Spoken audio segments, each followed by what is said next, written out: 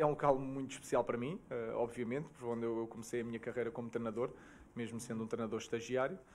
Mas será, será especial e eu quero manter as boas recordações de Pinamanique, uh, portanto precisamos de ganhar. Uh, não ganhando, torna-se tudo um pesadelo, em vez de ser algo especial, torna-se um pesadelo. E, eu quero, volto a dizer, quero, quero, quero manter as minhas boas recordações de Pinamanique, temos essa obrigação. Uh, vou re reencontrar pessoas. Uh, o diretor, o Carlos Pires, não está lá, está no Real Massamá, mas está lá o presidente. Uh, está, estão lá pessoas que trabalhavam naquele, na, naquela altura. Um, vou revê-los, mas eles já sabem também o que podem contar. O que interessa é ganhar, um, trazer a eliminatória para, para Alvalade e passar na, à próxima fase.